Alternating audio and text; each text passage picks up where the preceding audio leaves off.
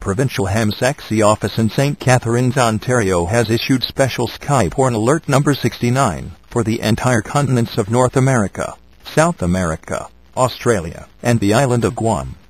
A band of isolated hams hell-bent on sending our hobby to the dark ages has launched an attack on the future of amateur radio.